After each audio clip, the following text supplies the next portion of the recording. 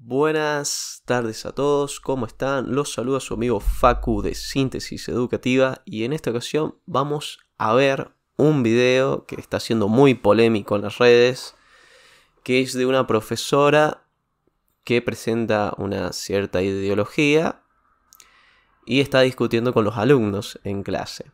Así que bueno, vamos a poner el video y vamos a reaccionar. A ver, escúchame bien. Yo te dije, son 11 años de peronismo. ¿Sí? En el siglo XX. En este siglo tuviste los, los 12 años de Néstor y Cristina. O sea que ¿cuánto me da? 11 y 12. 23. 23. Y yo te pregunto, y yo te pregunto, ¿cuántas, cuántas, cuántas represas se hicieron durante el gobierno de Macri? ¿Sabes lo que es una represa? ¿Sabes para qué sirve? ¿Sabes o no? No, no sé. Bueno, sirve para acumular energía. ¿Cuántas rutas hicieron? ¿Cuántos Bueno, jardines infantes? eh, primero que nada, no sé el contexto donde se da esta clase, no sé qué profesora de qué asignatura es, ni sé por qué ha reaccionado de esta manera tan agresiva, digamos, porque ella puede defender una cierta postura ideológica, tener sus creencias políticas, está perfecto, pero yo creo que no es la manera de expresarse con los chicos, con los alumnos, como lo está haciendo esta docente, esta profesional. Entonces no sé el contexto, el contexto previo a este video, si bien lo están grabando, pero quizás, no sé, quizás los chicos la sacaron de quicio a la pobre profesora y reaccionó de esta manera no tan buena. Pero bueno, nosotros no conocemos el contexto, así que solamente vamos a analizar el video. Y también quiero que ustedes participen, analicen, me digan qué piensan de este video, qué piensan de la postura y de las cosas que menciona esta profesora. Así que los estaré leyendo aquí en la caja de comentarios, aquí abajo, para que podamos debatir y compartir nuestras opiniones. Bueno, frené acá el video porque escuché varias cosas que me parecieron muy interesantes.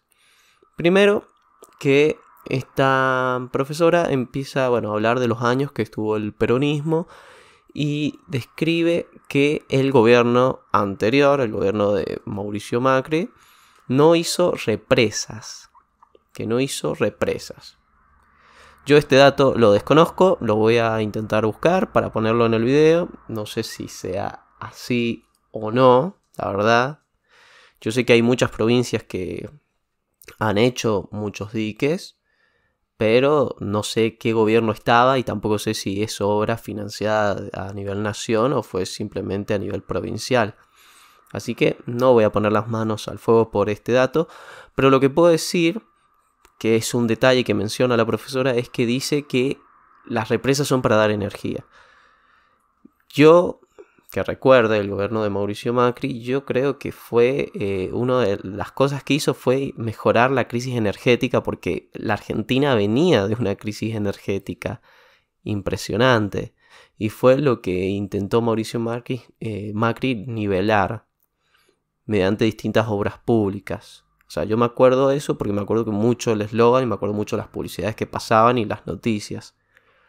Que se mencionaba, era como el fuerte, digamos, del, del gobierno de Mauricio Macri. Entonces, que mencione esto me pareció medio raro. Y después, cuando mencionó lo de las rutas, ¿dónde están las rutas? Dice. Que creo que lo único que hizo Mauricio Macri en su gobierno, que no estoy a favor, no me gustó y por algo perdió, que es que hizo, lo único que hizo creo que se destacó fue las obras de rutas, de rutas nacionales, que activó muchas rutas que estaban abandonadas o otras que, bueno, quizás fueron proyectos que dejaron el anterior gobierno, porque esto es lo que hacen los distintos gobiernos, agarran un proyecto anterior y lo terminan y quedan como que ellos lo hicieron. Todos los gobiernos son así, chicos, no se dejen influenciar, tengamos un pensamiento más crítico, reflexivo, eh, no nos adoctrinemos, no sigamos las ideologías y seamos independientes. Y bueno, esto me llamó mucho la atención como mencionaba lo de las rutas, porque creo que es lo único que hizo Mauricio Macri, hizo rutas, hizo rutas. Entonces que diga esto, no sé, ahí ya empezamos mal. no, no, no sé qué quiso decir. Lo de los jardines, eso. No sé qué datos saca esta señora, de dónde saca esa información, porque no sé si hizo más jardines o no que otro gobierno, pero claramente hubo obras de escuelas, de, de bueno, de jardines maternales, como otro gobierno, quizás no se destacó por eso, eso sí puedo eh, mencionar. Vamos a buscar la información, a ver si la podemos compartir en el video. Pero me parece como que si hubiese atacado eh, por otro lado, hubiese estado mejor, pero no por ese detalle. Así que bueno, sigamos viendo el video. ¿Dónde está? Y yo te pregunto, ¿vos sabés dónde está parado? ¿Sabés quién hizo esto? ¿Sabés quién hizo esto? Te pregunto. Bien, si sabés, sabelo que no se hizo con deuda. Entonces, por ciento más de ganancia. Y después lo pasaba a dólar de nuevo y se la llevaba. Se llama bicicleta financiera. Y, ahora la bicicleta y la bicicleta financiera afecta a esta escuela, afecta a tu vida y me afecta a mi jubilación. ¿Está claro? Y ahora entonces... ¿Ahora qué? Ahora hay que salir de la mierda que dejó. Pero en, cuatro años arruinó el país. ¿Quién? ¿Tienen, tienen hay el gobierno este? ¿Quién? ¿Quién arruinó el país en cuatro años? ¿Quién? Según vos, el gobierno pasado. ¡Obvio! ¿Y en, ¿Y en 37 años que tuvo el peronismo no arruinó el país? ¡No! ¿Qué 37 años? ¿De qué estás hablando? Ya se llevó la historia. el peronismo no tuvo 37 años. Primero. Primero. Que esto es gratis. Que porque tiene ojitos celeste no va a robar. ¡Te robó! ¿Y este no? Te robó el futuro, no papi, no te robó nadie, nadie te robó. Vos podés venir acá y comer esta porquería, ¿sí? Porque te lo da el Estado. Anda a pagar con el sueldo de tu papá una escuela privada como esta. Anda, dale. Anda. ¿Sabes cuánto cuesta la cuota en una escuela técnica? 10 lucas, de, 10 lucas para arriba. 10 lucas para arriba. ¿Tiene tu papá 10 lucas para arriba para, para, pagar? Porque eso es lo que dejó Macri. Eso es lo que dejó Macri. Bueno, pero entonces tengo una pregunta. Si, si Macri cagó tanto el país y ellos buscan salir... ¡Perdió! ¡Perdió! Gracias a Dios perdió. Claro, sí, perdió. Por eso perdió. Perdió porque atacó al pueblo. Atacó al pueblo y se llevó la taraja a él y sus amigos. ¿La entendés o no? ¿Por qué te pensás que el pueblo boludo? Por lo menos. Yo creo que la profesora, no sé qué le han hecho que reaccionó de esta manera. No son maneras para reaccionar. Creo que es muy agresiva. Me parece que deja una mala imagen para un profesional, para un profesional docente. Hoy en día podemos ver un ejemplo como Javier Milei, que era una persona que reaccionaba de manera, digamos, se expresaba de una manera algo agresiva o tenía una forma de ser muy por ahí que a muchos no les agrada o cae mal, que hoy, hoy en día se está usando mucho esa imagen negativa para desprestigiarlo en la campaña política. Y si ustedes prestan atención ahora a los debates, a los debates, a los programas donde va de invitado Javier Milei, van a ver que ahora reacciona totalmente distinto. En los debates, en las discusiones, cuando está con otra persona, ya no reacciona de la manera que lo hacía antes. Ya no se exalta, ya no grita. Y porque obviamente eso era malo. Eso daba una mala imagen. Y ya no lo está haciendo él. Porque está en campaña. Y me parece bien y ojalá que sea así para siempre. Pero bueno, lo que voy es que esta profesora creo que se equivocó no creo que sean los modos de expresarse con los alumnos, para nada. Y creo que lo único en que coincido es que perdió. La parte que dice que perdió porque atacó al pueblo, etc.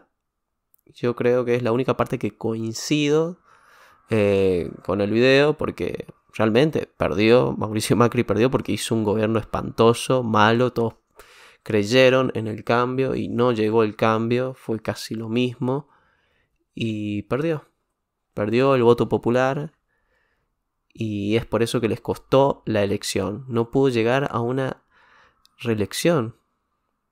O sea, cosa creo histórica, o sea, es muy difícil que un gobierno pierda una reelección. Entonces perdió por algo y eso es lo único que coincido en este video. Pero lo demás yo creo que es eh, no son las maneras de expresarse, creo que le falta argumento, simplemente está dando datos por tirar o no sé. Esto es muy importante porque quizás esta profesora, no sé, solamente veía un tipo de canal informativo y que no es objetivo, lamentablemente. Y eso es lo que nosotros tenemos que evitar, intentar ver las distintas fuentes, no quedarnos con una sola, eh, con un solo canal, con un solo medio, porque lamentablemente sí es verdad, existen los medios hegemónicos entonces nosotros tenemos que intentar tener el pensamiento crítico y no dejarnos llevar por una sola cosa, sino ir viendo, ir analizando, seguir, aunque nosotros no tengamos esa misma ideología, seguir a ciertos políticos, seguir ciertas páginas, ciertos diarios que nosotros quizás pensemos que son oficialistas, y sí, lo son, son oficialistas, pero quizás nos dan noticias que en otros medios no nos dan, y así en viceversa. Entonces no nos tenemos que quedar con una sola página, con un solo lado de la historia. Tenemos que analizar todo.